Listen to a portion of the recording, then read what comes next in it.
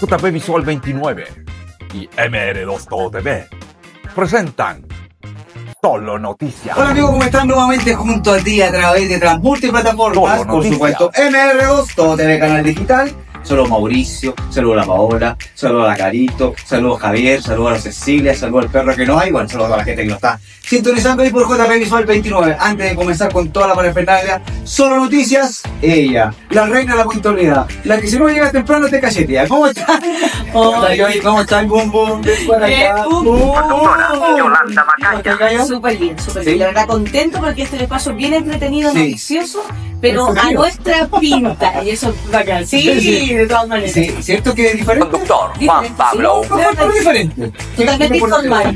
Perfecto. Sí. Oye, vamos de, noticia. ma- de materia de inmediato. Solo noticias, nada más, señoras y señores. ¿eh? No, por favor, no se ofusquen. Solo Noticias. El tema de la migración es complejo. Basta. Ah, Sí. Empezó, empezó desde Bachelet en adelante, Solo con aviones que llegaban con cargamento, con, con gente que lo deportaban masivamente, después ahora unos pocos, te voy a dar un dato, un millón seiscientos mil y tantos eh, extranjeros hay en nuestro país.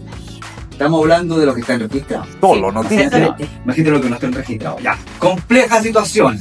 Y la verdad, bueno, ahora con este desgraciado que tuvieron en Colombia que asesinó al, al teniente carabinero. ¿ah? Sí. Eh, así que, la verdad, complejo, haciendo muecas, riéndose, faltándole el respeto, yo creo, a nuestro país.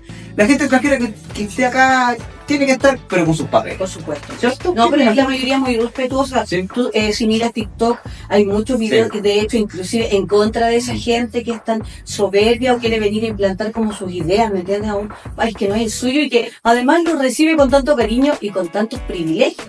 Solo decir. Noticias. Sí. Entonces, complica. Es verdad, Johnny, porque uno cuando va a Estados Unidos tengo un amigo que, que es más pintoso que yo, o sea, eh, un poco feo, no, pero es pintoso, es rubio, ojos verdes, de verdad, y, y fue a Miami, y fíjate que lo tuvieron a casi toda la delegación chilena que fue hace como dos meses, eh, los policías norteamericanos lo interrogaban, ¿qué traes, qué traes, Oh. mentira, corroborando, ya, bastante, poco excesivo, pero Sí. necesario, entonces acá es muy blando, Exactamente. ni siquiera saben, sa- eh, ni siquiera saben los puntos de ingreso a nuestro país, los centros están investigando, o sea, que estamos hablando. Sí. Bueno, lamentable. Los que tengan que estar están. ¿Por qué digo yo? Porque la toma Yevide, pues, eh, acá en San Solo Fernando. Sí, Noticias. hablando de Tú-.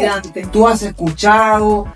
No creo que hayas tenido ni la oportunidad de ver porque uno no puede entrar ahí, pero bueno. No, la verdad. No, pero ¿Qué, cuando qué pasa- qué respecto de, la toma Yevide? Mira, la verdad es que yo tengo una, una percepción igual como eh, diferente porque como yo soy profesora, yo- nosotros tenemos siempre muchos estudiantes de la toma. Ah, claro, claro. Entonces, con eso te digo, mi perspectiva es distinta Mm, porque son niños y Claro. obviamente son familias que quieren salir adelante. Sí. Pero sí también hay cosas que me parecen muy risorias, por ejemplo, como cuando postean que están vendiendo casas, no sé si lo han visto Sí, en las sí, redes sociales desde la toma, y yo me dedico a ver los comentarios y pucha la gente, No. los columpios, que le dicen cosas feas, etcétera, pero de verdad es como, es un tema sensible y que además yo creo que complica a las autoridades. Sí, yo soy la voz del pueblo también, igual que tú, tú eres la, la del pueblo profesor, yo soy la del pueblo pueblo.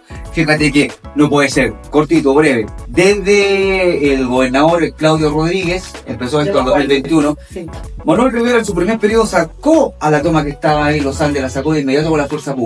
Tú defiendes a los niños y bienvenido sea también Sí. a, lo- a los más débiles. Pero esto es culpa del gobierno, de los gobiernos de turno noticia. que no pusieron mano dura. No puede ser, es lo mismo que yo me tomara el- un canal de televisión porque tengo necesidades. Exacto. No puedo. Si no tengo subsidio, no puedo estar tomándome un terreno. Sí. Y más si no tengo papeles eh, en forma legal. La alcaldesa Carmen Castillo que está, eh, disculpa que me ponga pesado, pero la alcaldesa Carmen Castillo que está en ejercicio, fíjate que ella eh, estaba por el Luxes, que fue gobernador o delegado, no me acuerdo, Sí. Del que fue alcalde de, de. Sí. Fíjate que-. Fíjate que ellos eh, dijeron que iba a hacer un catastro. ¿Y qué tanto catastro? El que no puede vivir ahí y no tengo el papel, Solo saca. Yo valoro lo que hace el alcalde Carter. Cuando demuele las cosas, cuando va con todo como corresponde. Esa es mi posición. Sí, es verdad. Porque, o si no, también nosotros los chinos tenemos derecho a tomar las cosas. Así que bueno, no es malo onda con el extranjero, pero el que puede estar, el que, el que puede, puede, y el que no, se va por su país, no más. Así de simple. Así de simple. Así de simple. Discúlpenme, ¿ah? Ya me lo van fuera. Ya. Pasamos al tema. ¿Cuántos minutos van? Pau, pau. ¿Cuántos minutos van? ¿Ah?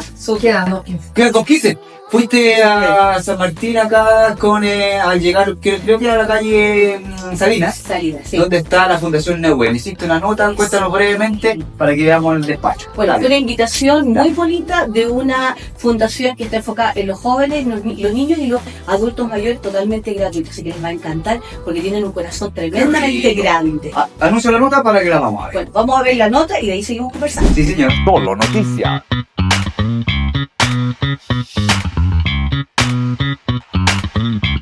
Hola Solo Pablo, estamos aquí en esta tremenda inauguración junto a Ronald que nos va a contar de qué se trata para solo noticias por MR2 y también por JP Visual 29. Ronald, cuéntanos de qué se trata esto brevemente. Hola, ¿qué tal? Bienvenido primero que todo. Gracias a ustedes. La las gracias por estar aquí presente. Y sí, aquí estamos la inauguración y una presentación para dar a conocer a toda la gente de nuestra fundación y todos los beneficios que vamos a entregar para todos los rangos etarios y sobre todo los niños, con grandes academias que vamos a, a dar apertura. Mira, súper lindo. Enfocado entonces netamente o mayormente en los niños. Correcto, Para que se desarrollen, tengan talleres, etcétera. exacto. ¿Sí? Sí, sí, sí. ¿Y les ha costado mucho Sí, Sí, un eh, poco. lo que más cuesta es iniciar. iniciar? Pero lo importante es que ya estamos dando el pie inicial y que la gente ya se está sumando y que estamos sumando hartas cositas y hartos beneficios para la gente. Súper. Y dime, ¿qué esperas de la comunidad? Que nos apoyen, que nos puedan colaborar, Perfecto. porque en primera instancia tenemos la personal jurídica, pero no podemos postular a ningún proyecto aún porque no tenemos la vigencia. Nuevamente, acá en la inauguración de la. Fundación Nehuen Aconcagua, ¿con quién? Con un pilar fundamental de Ronald, obviamente, que es la parte femenina que pone en esta gran hazaña, Fran, la verdad de las cosas. Cuéntanos, ¿cómo ha sido tu apoyo para que tu pareja pueda lograr y juntos como familia puedan lograr y sacar adelante esta hermosa fundación? Sí, hola, muchas gracias por venir. Bueno, yo también soy socia fundadora. Ambos tenemos como el mismo norte, ambos queremos eh, ayudar a la gente, tenemos ambos el labor altruista, entonces siempre estamos en ayuda de la humanidad con amor. Entonces todo con amor se puede conseguir y a lo largo del tiempo lo hemos demostrado.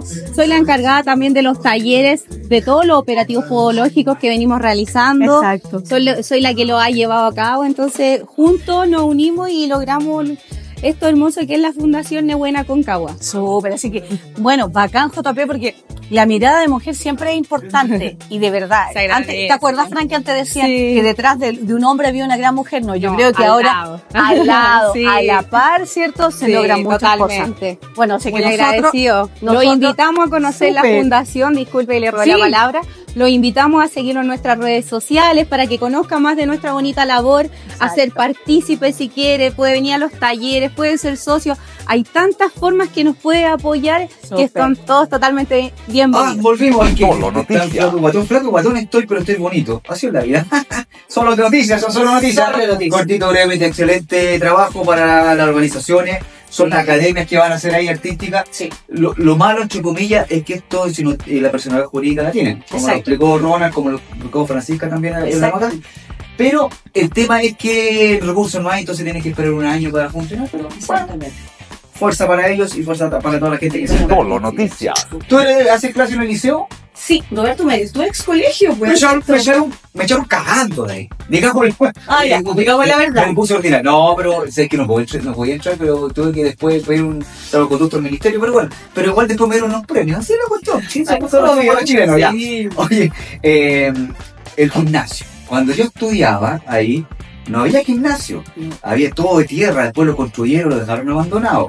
Ahora 343 millones o 345 aproximadamente, con 35 millones del municipio, que fue que hicieron noticia. la remodelación. Tú que estás ahí, ¿estás orgulloso? ¿Lo inauguraron en abril? Claro. Muchos deportes se pueden hacer, 800 personas caben, 900 Sí, personas. 900 veces Solo exactamente usted. Sí. Mira, la verdad es que no está todavía inaugurado, sino que eh, la expresión es que se entregó la obra de entregó. conservación. Se entregó, sí. Claro, entonces estábamos todos muy contentos, obviamente, de ser parte de ahí y además que va a servir a toda, toda la gente de San Felipe, porque tiene muchas instalaciones nuevas, Sí. camarines, va a haber un espacio para la radio y la televisión. Qué bueno, oh, ¿Me, qué me bueno. entiendes? Entonces va Sí. a ser un, un gran aporte para toda la, la sociedad aquí a Concahuí. Y los coreanos se lo merecen porque no es posible. En el colegio, en el colegio industrial no tienen eh, algo de chavo y hacen, hacen educación física ahí a todo el sol. Sí, Hay muchos colegios que no tienen, así que está muy precaria la educación. Y con esto se pueden, pueden ir a otros establecimientos Total. también ahí al Liceo Roberto Pérez. gran aporte. A ver, sí. eh, ahí, Yo no soy de allá, qué noticias. Sí, nos vemos el próximo viernes, obviamente con estas lúdicas noticias.